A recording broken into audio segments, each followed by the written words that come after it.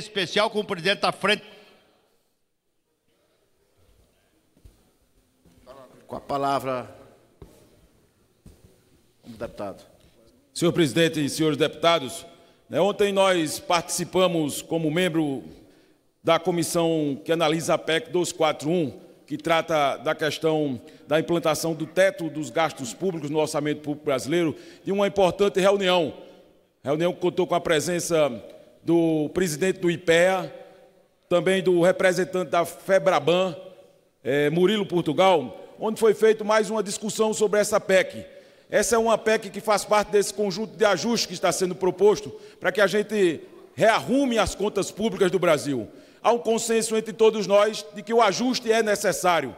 Precisamos preservar essa que foi uma conquista da sociedade brasileira, notadamente a partir da Lei de Responsabilidade Fiscal, que foi o equilíbrio fiscal. É fundamental que a gente tenha um Estado equilibrado, como também é fundamental, e é esse debate que nós fizemos lá ontem na comissão, que a gente também preserve o conjunto das conquistas que a sociedade brasileira teve também nos últimos dez anos, um conjunto de avanços que fez com que a gente reduzisse as desigualdades no nosso país.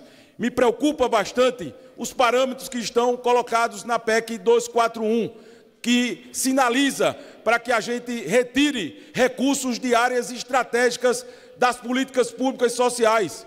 Um estudo feito pela consultoria da própria Câmara de Deputados aponta que no horizonte de 20 anos, que é o prazo de vigência dessa PEC, nós possamos tirar da saúde, da assistência social e da educação recursos da ordem de 300 bilhões de reais que deixariam de ser investidos é, nessas três áreas. No momento em que a gente sabe que as três áreas demandam um sentido oposto, demandam um volume maior de investimentos para que a gente possa garantir, inclusive, direitos que este Congresso Nacional, inclusive, já aprovou. Essa casa aprovou em 2014 o Plano Nacional da Educação, que prevê no horizonte aí para frente que a gente tire da, da informalidade, um conjunto de situações que não garantem ainda ao povo brasileiro uma educação pública de qualidade. Na condição também de membro permanente da Comissão da Educação, nós apresentamos lá uma, uma solicitação de uma audiência conjunta da comissão da PEC 241 com a comissão da educação, para que a gente faça esse debate.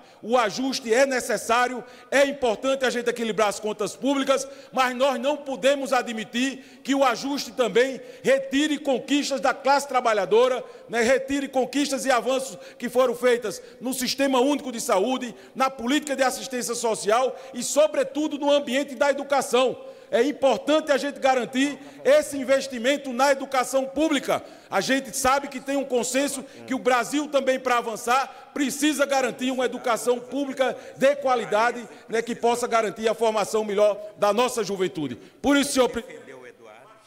Para concluir, nós destacamos esse tema da educação, especialmente no momento importante que o MEC divulgou na última semana os resultados da educação pública no Brasil aferidos pelo IDEB.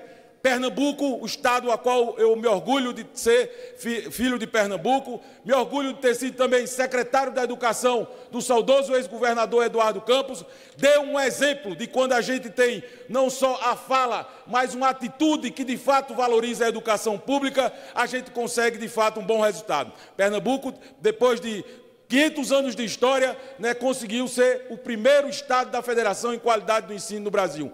Éramos 21º em 2007, antes de Eduardo assumir, e hoje somos o primeiro lugar em qualidade do ensino do Brasil. Isso é feito com atitude, com fala e com recurso, com investimento. Por isso que a PEC 241 tem que garantir recursos para a educação. Peço que divulgue o nosso pronunciamento na Voz do Brasil. Seu pedido será aceito pela mesa, deputado Danilo. E agora, dando continuidade às breves comunicações, convido o deputado delegado Edson Moreira, do PR de Minas Gerais,